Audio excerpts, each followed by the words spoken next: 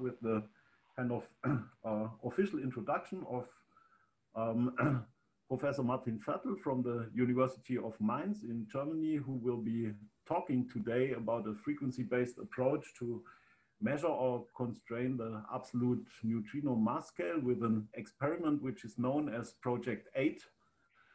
Martin studied physics at the Technical University of Munich in Germany, where he finished his master degree in 2009. Afterwards, he did his PhD at ETH in Zurich in the NPSI, um, Paul Scherrer Institute, in the group of Klaus Kirch, where he was working on the NEDM experiment. Um, he graduated in 2014. Then from 2014 to 2016, he was working as a postdoc at the University of Washington, where he got involved in two fundamental particle physics experiments, the muon g minus two experiment and the project eight experiment, which will also be subject of his talk today. And already in Washington, he was promoted to become an assistant professor for physics and got then in 2019 a call from the University of Mainz, where he's since then working as a full professor operating a group which focuses on high precision determination of the properties of neutrons, muons, and neutrinos to provide superb tests of the standard model of particle physics and the standard model of cosmology. So Martin, we are very happy to have you in the seminar today and we are looking forward to your presentation. And with that, I leave the floor to you. Thank you, Stefan, very much for, for this very nice uh, introduction and the kind invitation to, to uh, the seminar series, which is really fantastic, uh, carrying us through like this very special times here where we can't have like seminars in person. So as you mentioned already, I'm going to talk about an experiment uh, called Project 8, where we tried to uh, assess the absolute uh, neutrino mass scale with a new frequency-based technology. But before I dive into into Project 8 itself, let me just give a short shout out basically for the standard model and what its troubles are. And uh, so what we know by now today is that the energy content of the universe that we see uh, is made of mostly made up from what we call dark energy on the order of like, uh, uh sorry, uh, let's start with dark matter of about like 27%, but we don't know really what the dark matter structure and particle uh, content is. You've heard a couple of talks already addressing aspects of dark matter, like Dima Budker talked about, about this aspect uh, a couple of months ago. We have uh, the dark energy roughly making up 70% of the, of the energy content of the universe. There we have a candidate in terms of the cosmological constant to explain what's going on in this picture that I show of the Andromeda galaxy, gravity like dominates all these cosmological structures here, but like it's completely absent in the, in the standard model of particle physics. The only really idea of this 5% that we have about atoms is what we call the standard model of particle physics that contains quarks and leptons and force carriers with the last boson basically being the Higgs boson uh, discovered and there is questions around like the one most obvious in this picture is like the baryon asymmetry. Where is all the antimatter that should have been created in what we call the big bang? Um, and another interesting question where we dive in today is basically we know that neutrinos have masses but we don't yet understand how large they are and how actually the neutrinos get masses at all.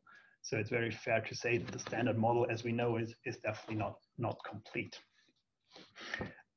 So let me arrange a little bit the, the neutrinos in what we call the frontiers of particle physics, which we often like divide up in like the high energy frontier of particle physics, where we produce new particles by ever pumping more energy in collision uh, events and cosmology. And on the other hand side, like high precision uh, experiments and the exposure frontier, where we observe more and more particles to study their, their properties ever more precise. That feedback. Let's try again if the feedback is, okay, now the feedback stopped. Thank you. And so in cosmology, we can look at the large scale structure formation, which is, for example, impacted by the neutrinos. Uh, in uh, analogy to the cosmic microwave background, we could expect a cosmic neutrino background. And the standard model of cosmology is what we call the lambda CDM. In astroparticle uh, physics, neutrinos play a role as messengers from supernovae, for example, intergalactic neutrinos. And on the high energy, uh, on the high precision and exposure frontier, neutrinos play a prominent role in the process of charged lepton flavor violation, for example, in the search for neutrinoless double beta decay. And obviously in the study of highest precision allowed processes, for example, of beta decay spectra that we use to access uh, to yeah to access mass or uh, new forces. And the prominent neutrino flavor oscillation experiments are obviously in that category. And so it's fair that neutrinos basically have a share in all of these fields and are bridging between these fields and also the question for, for their masses. So what have we learned so far about neutrinos? We've learned that neutrinos are basically a superposition, the flavor states are a superposition of three mass eigenstates. The flavor states are what participates in the weak interactions, the decays of, of particles, for example, and then we have the free streaming propagating neutrinos in, in vacuum. We can conveniently separate out basically these, these relationships, these linear superpositions in a matrix form called the PMNS matrix. And uh, there is a real elements, there are phases, there's one uh, CP phase in there, a Dirac phase, and we have the uh, possibility that there's also like two Majorana phases that would only be uh, non-zero if the neutrinos were their own antiparticles. But the experiments that I'm going to talk about cannot tell any difference uh, between Majorana and Dirac uh, nature of the neutrinos, only the observation of neutrinos double beta decay could tell. But what we can learn from the flavor oscillation experiment, what we have learned is for uh, is the, the size of the matrix elements, the PMNS matrix, and the mass squared differences between the mass eigenstates. And you can see that on the, on the left side. For one of the splitting between uh, mass state 2 and mass state 1, we know its absolute size, we know that's fairly small, and we know its sign. For the splitting between the, uh, the third and the second mass state, we only know its magnitude, but we don't know the sign. And so we are left with these two uh, possibilities of arranging the, the mass states on the, on the vertical axis, which we call the normal ordering if we would assume that the small splitting, the so-called solar neutrino uh, mass splitting is at the bottom of the, of the scale and the large uh, splitting on the top. Or we call it the inverted mass ordering if it's just upside down and the small splitting is on, on top. But a question that cannot be answered also from flavor oscillation experiments is where is actually the absolute zero on this vertical uh, mass scale? We don't have any sensitivity to, to this scale here. And so the question is, how do, what handles do we have to assess the absolute ma uh, mass scale of the neutrino? And there is basically three complementary routes that we can learn about uh, this question in, in different observations of nature. So we have different tools, we have different observables, and I'll just give you an overview here of what's currently the best limit in this area and where we think we could potentially reach, and then also comment a little bit on the model dependence. So I pointed out before that like from cosmological observations, we can derive limits on the sum of the neutrino masses. And the current best limits tell us that the sum of these masses uh, is most probably not larger than 150 milli electron volts. And that depends on the multi-parameter cosmological model and how you interpret the data and subtract foregrounds, backgrounds, and so on. So there is model dependence in, in these numbers, but potentially we have a reach down to roughly 20 to 50 milli electron volts for this sum. I already hinted at the neutrinoless double beta decay experiment. There we have a handle on, on an observable, which is called a, a coherent superposition of these masses an effective neutrino uh, Majorana mass in this process. And here we have the current best limits on the order of like 200 milli electron volts to 400 milli electron volts, and can then go down to roughly 20 to 50 milli electron volts. But the model dependence here is actually the, the structure, the nature of neutrinos. Are they Majorana? Are they Dirac? Can this process happen at all? And there is significant uh, uncertainty in in this mass introduced by these very difficult nuclear mass, uh, nuclear matrix element calculations that need to be performed to interpret a measured half-life in the neutrinoless double beta decay in terms of a mass of this effective mass parameter. And then the third approach that we can take is a purely kinematic approach where we only need to assume momentum and energy conservation and measure and perform spectroscopy of decay electrons or electron capture processes.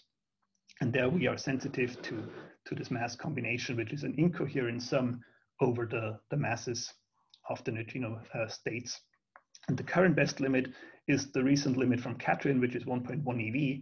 And we think we have a potential reach down to like the 40 milli electron volt range. And Project 8, we think, is one of the uh, opportunities to, to have a new technology to approach that, that goal. And so we have three different combination of masses, and we have three fairly diff very different uh, approaches to these observables. So let me just point out the complementarities between these approaches. And so I show you on the on the slide the relation between the sum of the neutrino masses as we uh, observed them or derived them from cosmology and the m beta parameter, the parameter that's probed in uh, beta decay or electron capture decay experiments. And I also indicate the prediction for the inverted ordering and the normal ordering of the neutrino masses um, in blue and, and, and red. So what we currently know, or up to a couple of uh, last year, basically, the best limits were uh, provided by the Mainz-Troitsk experiment for M beta on the order of 2 eV. And then this was uh, recently improved by, by KATRIN to 1.1 eV. After KATRIN is done running with its full statistics, their sensitivity limit should be on the order of like 200 milli electron volts. And you can see that like there is already a restriction cutting in into this band of, of uh, blue and red uh, phase space for the neutrino masses. We with Project 8, we think that our new technology, we can devise an experiment with a goal of sensitivity of 40 milli electron volts. And now you see that we would basically cover the whole uh, phase space that's allowed under the inverted ordering if we can achieve that sensitivity goal.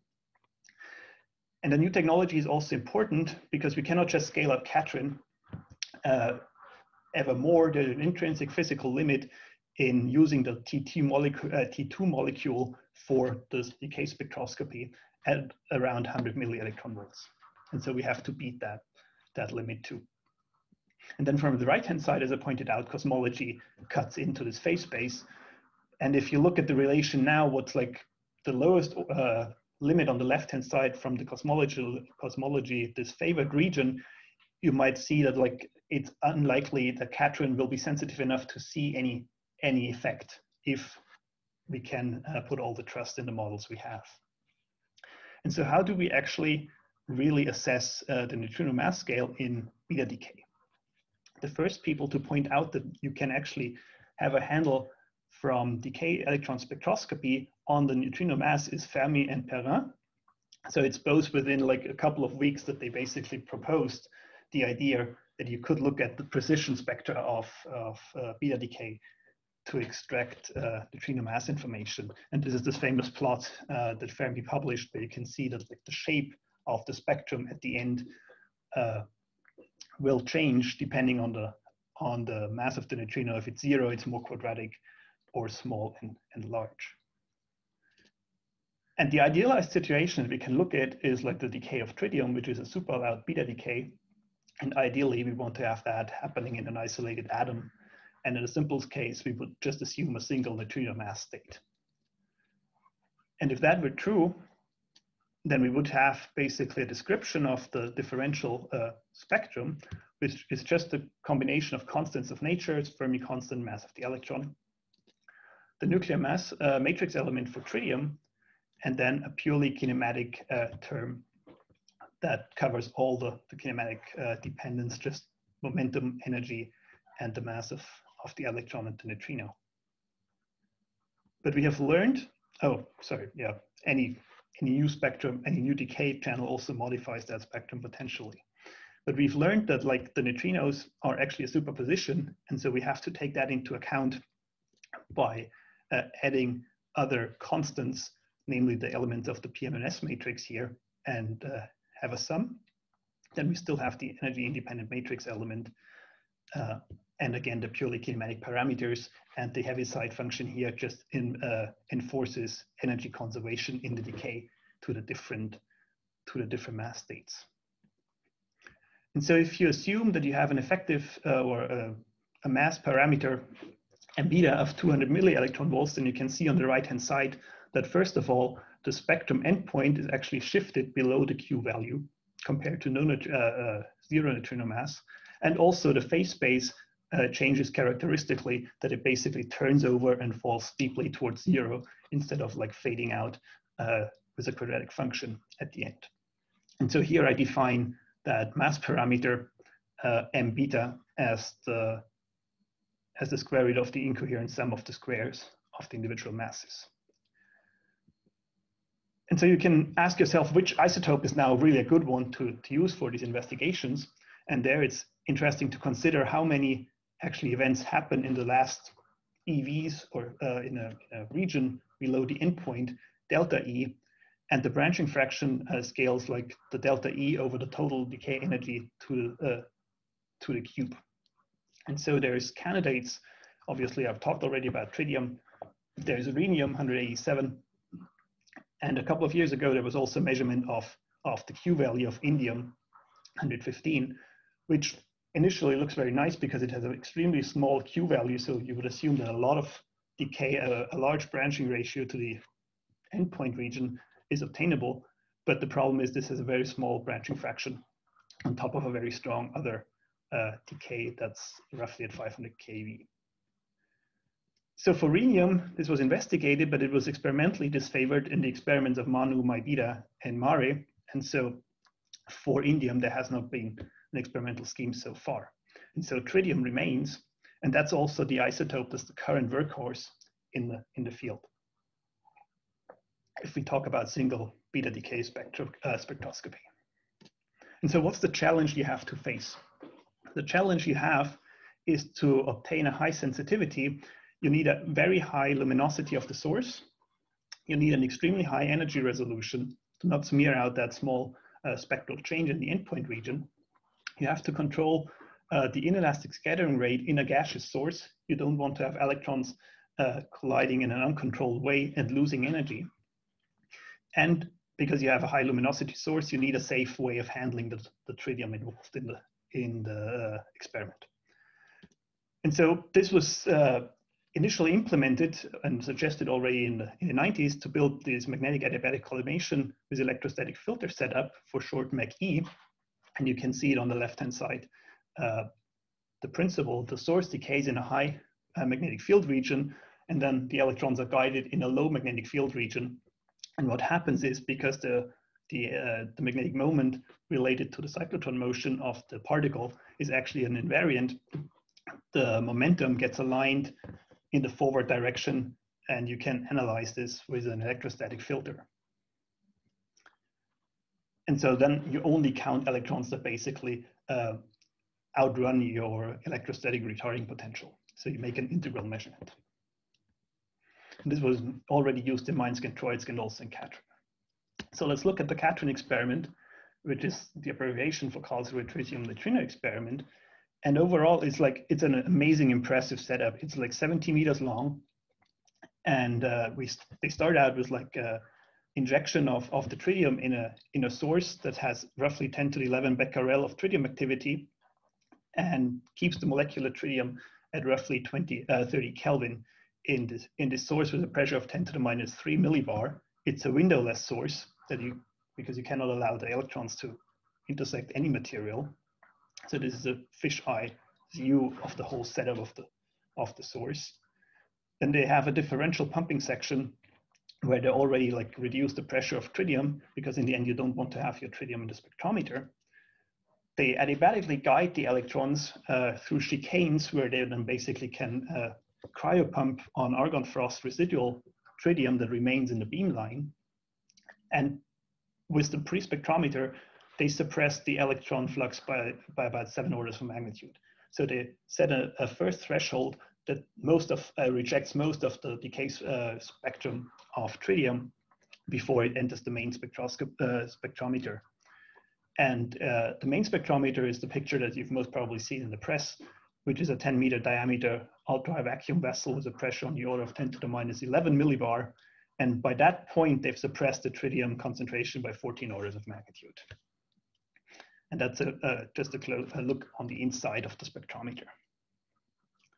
And then the electrons, once they pass the main spectrometer, they get counted in a low background segmented detector on the far end of the experiment.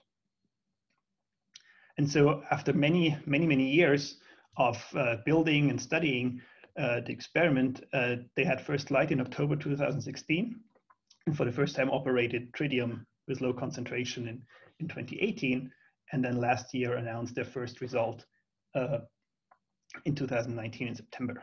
So let's look at this result, and it's a beautiful result. They have taken data in April 19 and scanned the endpoint region with 27 different high voltage set points for a total of more than 500 hours. Uh, not all of the pixels were working off the detector, but it's still on the left-hand side, you see this extremely nice uh, spectrum. And I have to point out that the error bars are blown out by a factor of 50, that you're even able to see the, the error bars on, on this plot. It's amazing. And so they fit their spectrum with a full fit parameter in the endpoint region with uh, the neutrino mass squared as a parameter, the amplitude signal, the decay endpoint, and a background rate that would basically just offset the, the count rate on the vertical axis. And so the best fit parameter they obtain is a negative value of minus 1 plus 0.9 uh, and minus 1.1 EV squared. And then they used two different statistical methods to derive a 90% confidence level. Uh, and they give the, the result of the Lokhov-Tkachov uh, method to be 1.1 EV. But with this amazing result, what is actually the, the limiting systematics? And could you just scale up the MAC-E filter? And I've taken a, a plot from Kathrin Valerius that she showed a couple of years ago, basically showing the contributions of the different effects to the systematics and statistics to reach the 200 milli electron volt uh, limit. Now you can see here aspects related to the source are, are already extremely well under control. The left plot, basically the red dashed lines indicate the, uh, the requirements that were set for, for this particular uh, parameter, like the temperature or the buffer pressure, and the source just outperforms uh, the, the requirements, which is absolutely amazing. But you also see that there's a large contribution from this final state spectrum. And this is the irreducible excitation uh, contribution that I've talked about before, that like the decay of a molecule always can excite rotational and vibrational initial and final states that cannot be controlled from the outside, uh, but are an intrinsic property of, of the gas source itself. And then you have elastic scattering in the T2 gas, meaning that you have like energy losses as you transport the electrons through the beamline. And for example, electrons can scatter into the acceptance cone of the MAC-E filter. And so the big challenge is if you want to have a new technology that goes beyond the, the reach of Katrin or potentially can go beyond the reach of Katrin, is that you want to develop an orthogonal set of systematic effects you want ideally have a very different class of backgrounds and you have to achieve the high statistics. And so there are several approaches uh, that, the, uh, that the community develops, which are basically crossing field boundaries because that just within the single fields, we're not gonna reach uh, our goals. So we can either think about new isotopes or we can think about keep on working with tritium ideas about new isotopes is obvious is the uh, is the use of holmium uh, uh 63, uh, which is an electron capture decay, and that you perform spectroscopy uh, with microcalorimeters, and the Echo and Holmes collaborations are pursuing that way with support measurements from the NuMECS collaboration. For tritium, uh, Katrin also has ideas about using possibly a, a time of flight uh, filter there is a, a nice assessment of, of that possibility. Or we think as Project 8, there might be a completely new technique to electron spectroscopy, and we have uh, call it a cyclotron radiation emission spectroscopy. And so let me introduce this idea to you. Uh, it was an idea that's proposed by uh, Joe Formaggio and Ben Monreal in 2009. And if you put your radioactive source into a magnetic field, the decay electrons will actually start to move or spiral on cyclotron orbits and start to emit radiation because it's an accelerated motion. And so the source is also typically transparent to the microwave radiation. And that means that if you can basically detect the radiation, the microwaves, outside of your source volume, you don't need to transport the electron from the source to the detector. You can just measure it in situ. And in addition, it's all based on a, it can be based on a highly precise frequency measurement. And we are all familiar with this uh, simple formula that relates the uh, cyclotron frequency to the magnetic field and the kinetic energy of the electron. And this is just a picture showing you the, the dependence of the cyclotron frequency on the electron kinetic energy with the classical uh, non-relativistic limit for one Tesla magnetic field in blue, and then the nearly linear dependence of uh, the cyclotron frequency for on the electron kinetic energy. If you ask yourself how much power is actually emitted, then it's a feeble amount. It was calculated like more than 100 years ago.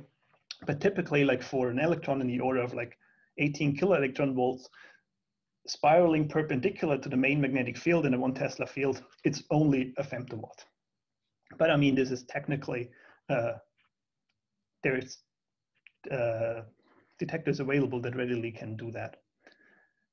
And so we have taken basically, or taking a four phases approach to develop uh, this new, new idea.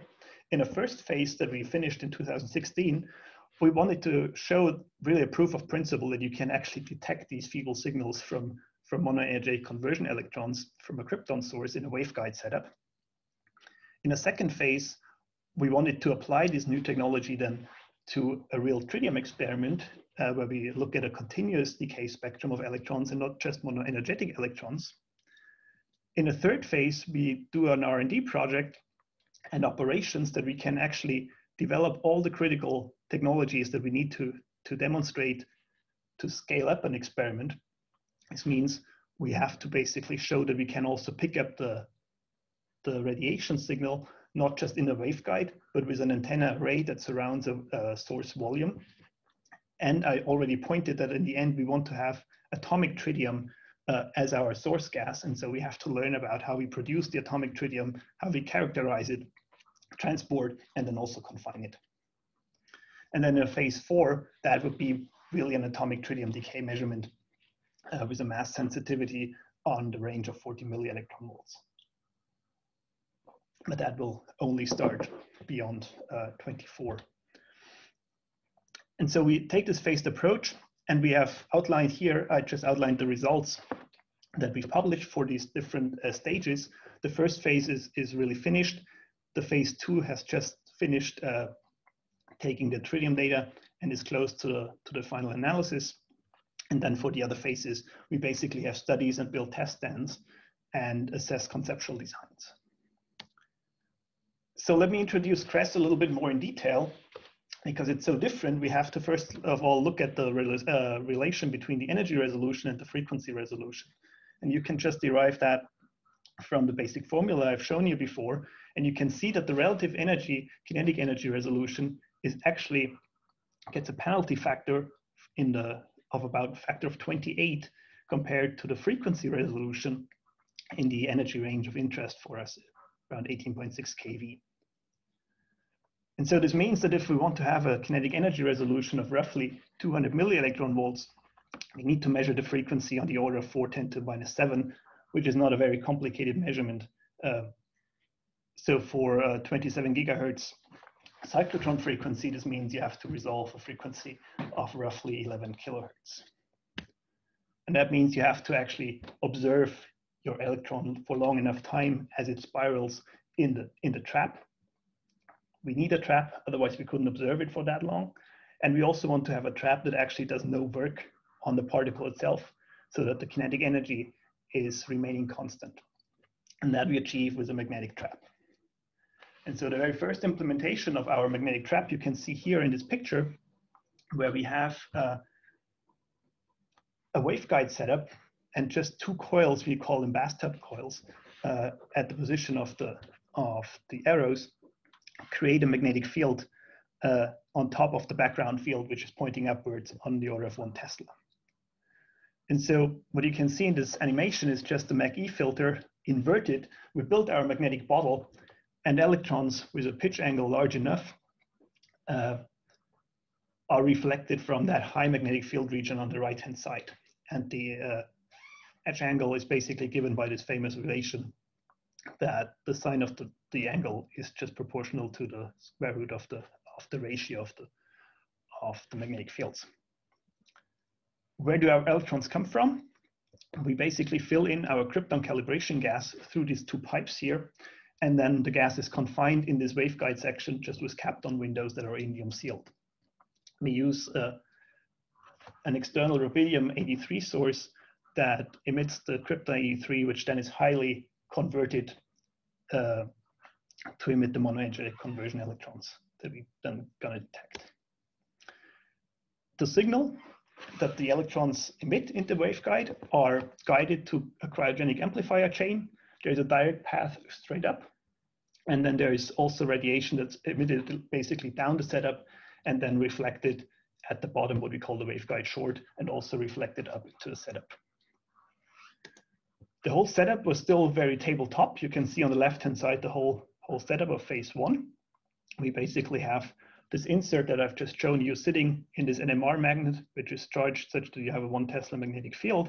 You see Ben LaRoque, one of our then grad students, working on the experiment. And in this uh, section that he's pointing to or working on, that's where basically our low noise amplifiers sit. And that's uh, what's shown on the right-hand side. We have a super heterodyne receiver chain that basically converts the frequency range or the signal from the frequency range of 25.2 gigahertz to one gigahertz. And that happens, there's a cryogenic section, and then in the room temperature, we basically mix down the signal and digitize it. And uh, let me show you basically our first event that we've ever seen here. Uh, after we digitize the signal, we Fourier transform it in short time slices, and then we can plot the power versus frequency as a function of time. And what you, the typical signal structure is that you have a sudden onset of power once the electron is born, uh, you see this excess. Then you see a linearly rising frequency as the electron loses actually energy due to the uh, cyclotron radiation that it's emitting. So you get this, uh, the frequency increases. And then what we see is energy changing gas collisions. Each and every time we have a step in this signal, this is when the electron collides uh, with a background molecule. And that's what typically would happen statistically from the transport of, a, of an electron to the, from the source uh, to the detector. And so we can see these steps. And within uh, the very for the very first result that we have, basically we were able to measure this, this krypton spectrum and you can see the, the different doublets and the single line at 18 kV. And we were able at that time to resolve the 50 EV split uh, L doublet in 2015. It took us a little bit to optimize our trap, and then we were able to record that splitting uh, or the, the split line uh, with a full width half maximum of roughly 3.3 eV. And because the, the technology is so different, let me show you some live data that we've taken from what we call a real-time spectrum analyzer that basically is able in real time to show you the evolution of such a signal uh, of the electrons. And let me start that video. I hope it will work for you well. You can see basically on a central frequency of 1.4 gigahertz, a window that's 85 megahertz wide. Time is to the uh, vertical. And then the higher frequency is basically going to the right-hand side, which means lower energy. And so these streaks that you can see in, in power, these are actually electrons that we can observe life in the setup each and every time one is born, we get that excess of power. And so the CRES technology is quite unique compared to other detectors in terms of, for example, pileup. I mean, how does pileup look like here? We, if we had two electrons with different energies, they would start at different frequencies. They could not possibly end up in the same uh, frequency bin to mimic a pileup. These electrons could have or will have distinct start times when the signal starts. They will have distinct scattering patterns in, in your records. And also the detected power level would be different uh, because the power emission depends on the frequency. So these are all very unique cut planes that we have uh, for CRES signals that are not available in a standard solid state detector, for example. And we also can perform a fully differential measurement compared, for example, to the MAC-E filter uh, technology, because we can just record a certain frequency band uh, of interest and do that while we record other, other energy ranges.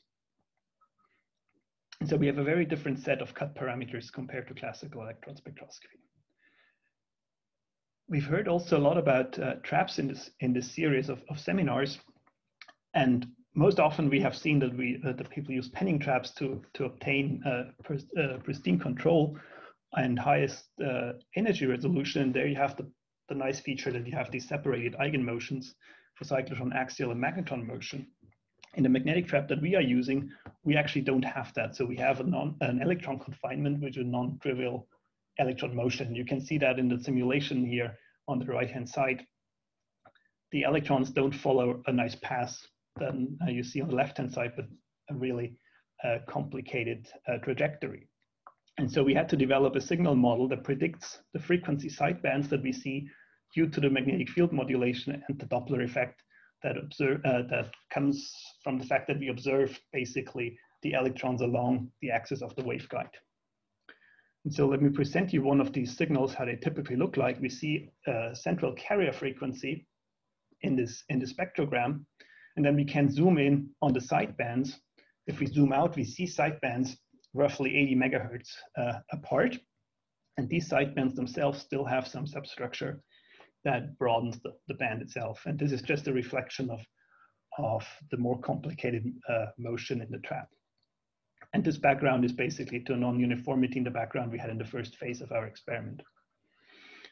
And so in the second phase, where we wanted to go now to measure uh, molecular tritium, we first of all needed a source for the decay electron for the tritium, which allowed us to safely handle the tritium gas, could deliver the gas in the range of like 80 to 300 Kelvin, and allowed for a fine uh, regulation of the, of the pressure because the pressure in the background gas basically sets the average duration of the track. When does the electron scatter with a background uh, molecule determines for how long you can actually observe the track.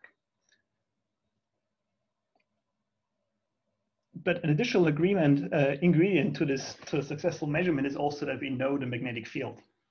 In the formula, we need the B field to convert frequency to kinetic energy. And so we combine that with the source of Krypton 83, where we have well-known conversion electron energies distributed over 9 to 32 kilo electron volt. And that allows us to observe or to measure the B field long-term stability with the big advantage that the krypton goes exactly where the tritium also goes. And so it's really a co-magnetometer that we apply here. We had to rebuild basically our insert a little bit to make it tritium compatible. And so we've chosen to use now a circular waveguide instead of a rectangular waveguide because intrinsically the cyclotron radiation is circularly polarized. And so to maximize the coupling, we use a circular waveguide and then transform the signal with a lambda quarter plate into a linear signal that then is transported uh, with rectangular waveguides.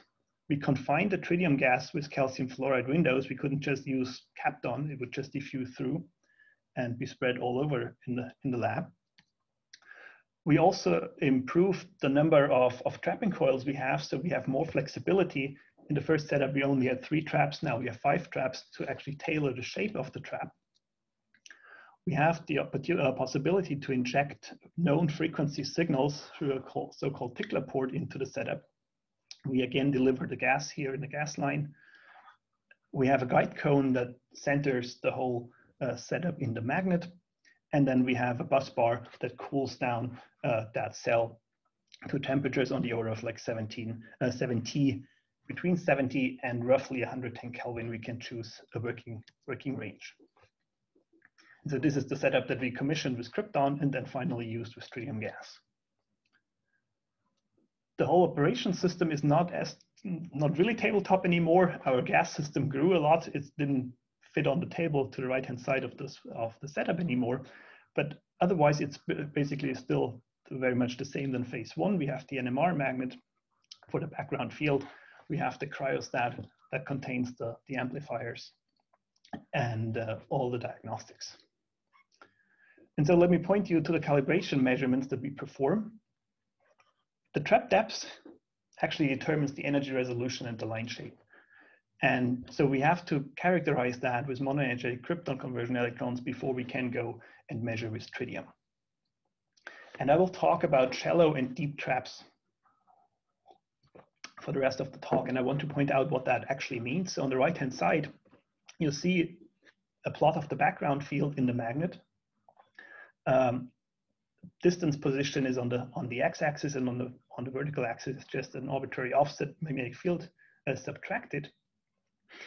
And in the case if we use two of the of our of our trapping coils, you can see that we introduce these dips and we introduce them such that basically the bottom of the trap is all at the same frequency, which means that the trap depth, the, the ratio of the minimum to the maximum is actually varying for the different traps, but we have to do that just to have the same emission frequency of the electrons uh, for electrons born at the center of the trap. And so the, the trapping efficiency is, is different, but the, the uh, emitted frequency spectrum should be the same. So these shallow traps have the advantage that they provide us with very high energy resolution, but for the cost of, of pitch angle acceptance.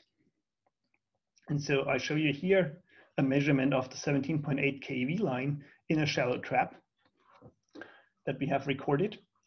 Um, we have to develop a detailed sh uh, line shape model. And that means that basically we have to understand the krypton decay physics, meaning the contribution of shake up and shake off electrons uh, when the conversion happens. There's just a, a, very new paper from Hamish Robertson and Vedanta Venkapath uh, about that theory uh, to really understand the line shape that we see here.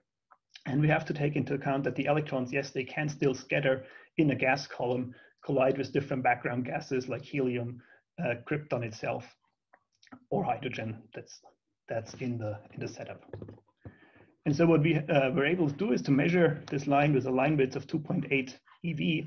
And from the known uh, natural line width, we can such derive an instrumental width of 2 eV. With the Krypton 83, we were also able to show the extreme linearity of CRES. So on the right-hand side, you can see the, the uh, measured line positions of the K line and the L, M, and N doublets all the way over roughly 40 14 uh, kilo electron volts.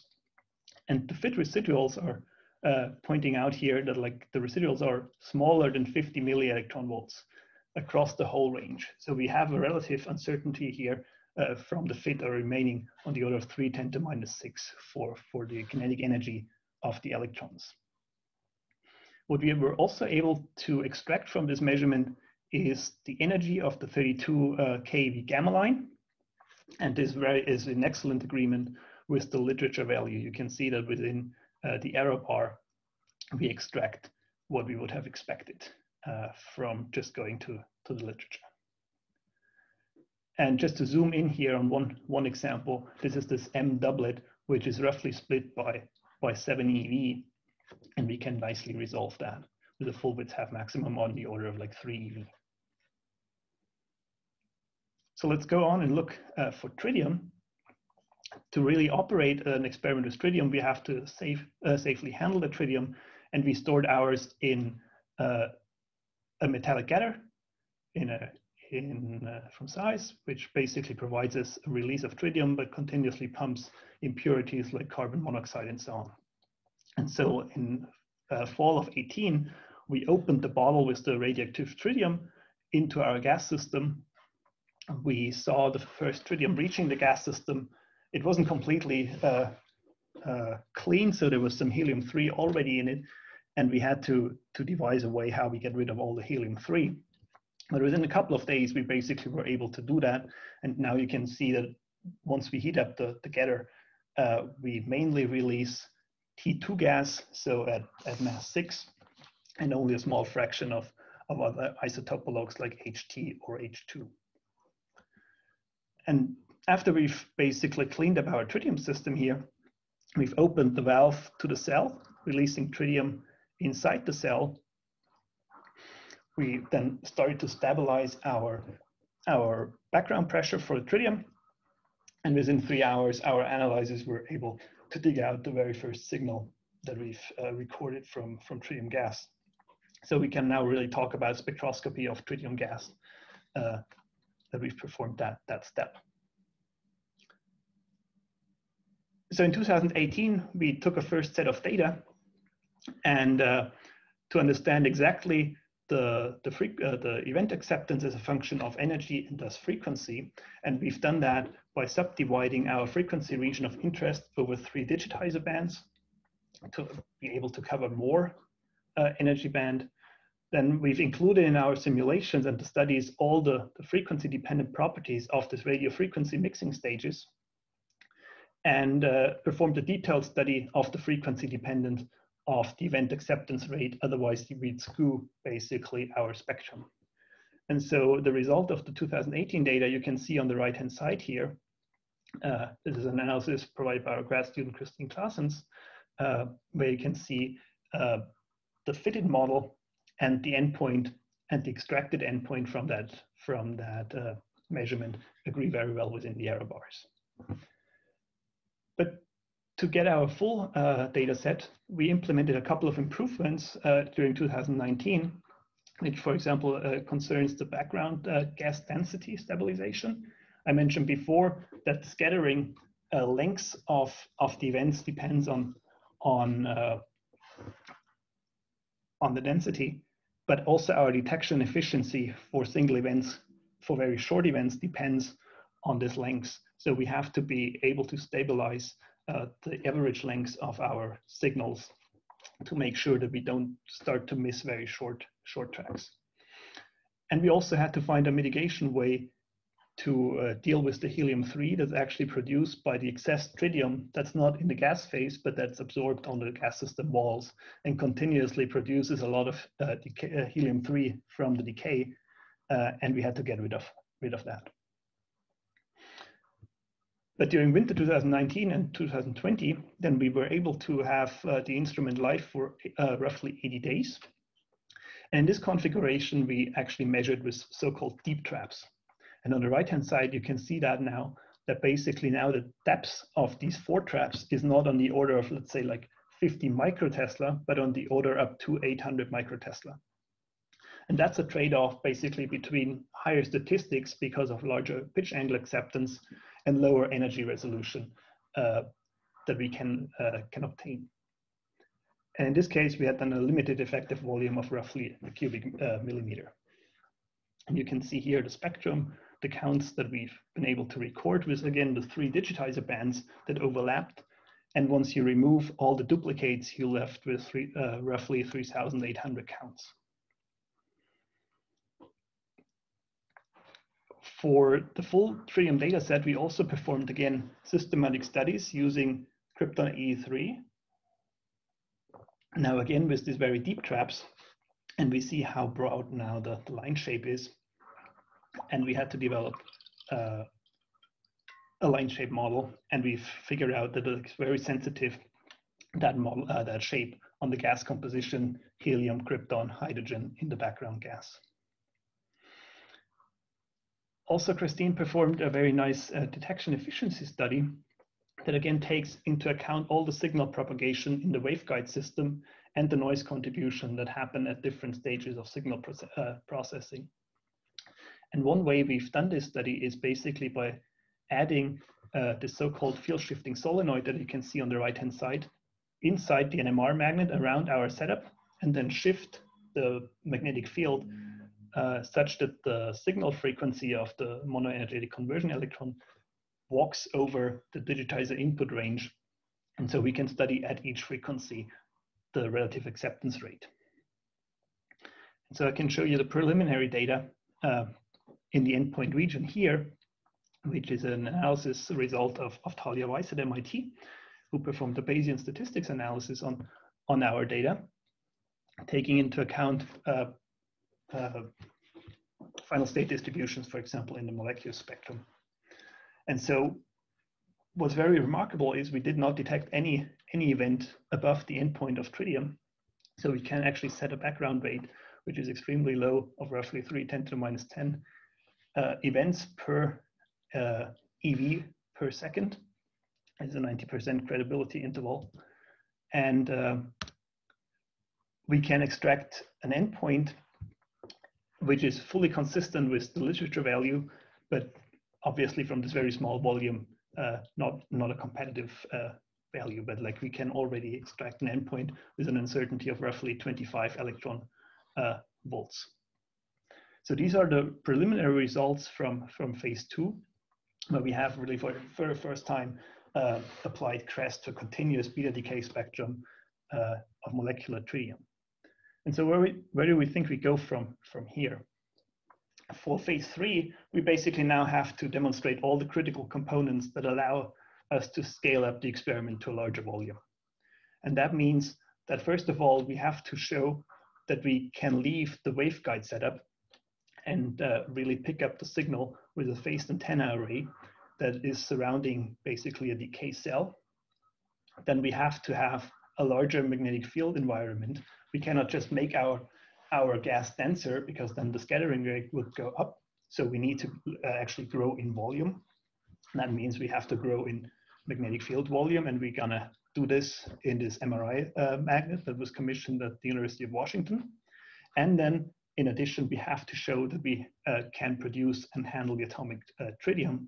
But we first of all start obviously with atomic hydrogen and we take a multi-prong approach to this cold atom production. So let me quickly mention a couple of, of aspects of, of this development. So the magnet uh, this MRI magnet was installed at the University of Washington. It's providing us with a nominally one Tesla field, could go up to higher, higher field if we need it, but it provides us now like a 90 centimeter bore diameter compared to like 50 millimeters in the NMR magnet. And that's due because we removed all the plastic covers that typically uh, hide this core part of an MRI facility from the patient. This allows us to have like a 45 centimeter sphere of roughly a part per million field homogeneity. And we will use this as a dedicated test bed for magnetometry, for amplifier testing, for material testings. And then you can see like a sketch idea uh, on the right-hand side at the bottom. We will basically insert then our setup into this, into this magnet on the rail system. We study in very much detail basically different approaches to build this phased antenna array to be able to pick up the CRES signals. In each and every uh, single antenna, we never will reach more a signal to noise more than one. So we won't be able to, to trigger directly on a single channel. And so we have to uh, apply cross correlation techniques like in astronomy to construct a signal or to construct a combination of individual signals that we can then trigger on. So there's various antenna concepts under study for electrical properties, mechanical properties, and so on.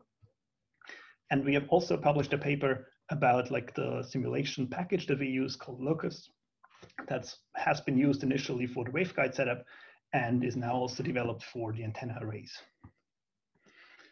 In terms of the atomic hydrogen production, we perform a multi-institutional approach at the University of Washington, uh, the Lawrence Livermore National Lab, and locally here in Mainz where we explore different uh, aspects of hydrogen cracking, velocity distribution diagnostics, beam accommodation, so cooling, uh, how we guide the beam. We need to spin polarize the beam then to magnetically confine it in a gradient trap. And these are all aspects we're gonna, gonna investigate over the next couple of years. And then we have like a phase four conceptual idea where we bring all these, these uh, uh, technologies together where we would start out on the left-hand side with molecular tritium from a recirculation loop, for example, crack it, start to cool it down in an accommodator and, and cold nozzles, and then spin polarize it to confine it in a magnetic gradient uh, trap that you can see on the right-hand side. And this trap would then be surrounded by an antenna array um, to observe the decay electrons emitted by atomic tritium in the end and so this would allow us to, to get rid of uh, all the molecular excitation uh, degrees of freedom if we just work with purely atomic. So you see this has to scale up on a fiducial volume on the order of, of 10 cubic meters. And this is uh, the work that we, we anticipate to happen in the future. And so let me come to my summary. In the first phase of Project 8, we have shown that like it's possible to directly observe the cyclotron radiation from a single electron, low energy electron, and we've successfully established uh, CRES as a spectroscopy technology. In the phase two that we are about to finish now, we basically have developed a tritium compatible cell. We've performed the first tritium measurement, have taken the data, and the final analysis is well advanced. So we hope uh, to wrap this phase up uh, to commit basically all our time into phase three, where we have a strong R&D program to demonstrate that we can actually really scale up all the critical technology components uh, for about a viable concept for a phase four uh, experiment then is able to probe really down to the 40 milli electron uh, range of MBETA. And so let me end with acknowledgements to the whole collaboration that have contributed to this beautiful experiment. And as so many of us basically also here, we had our last collaboration meeting completely online in Zoom. So thank you very much.